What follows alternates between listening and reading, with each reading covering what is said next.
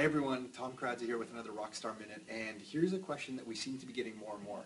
What is the number one thing that you would do for a business to help the business grow? And if we had to pick all the marketing lessons that we've learned over year, the years, the number one thing we would suggest to anyone, whether it would be a retail store, a service-based business, anyone, would be to start a regular newsletter either an email newsletter that you send out every week or every two weeks, or a paper-based newsletter into the community where, where, where you reside if you're a local-based business.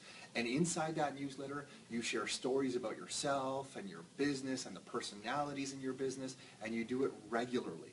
And there's a couple, a couple things that uh, we found are really important uh, when you do when you publish a newsletter regularly.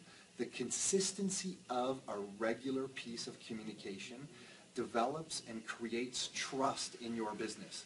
I don't know why it works that way, but it works. So no matter if you're a service-based business or a retail-based business, our number one marketing thing that we would suggest to any business would be a regular, consistent newsletter, whether it be an email newsletter or a paper-based newsletter. And we would suggest that to our own family. So hope, hopefully you find that useful. Until next time, your life, your terms.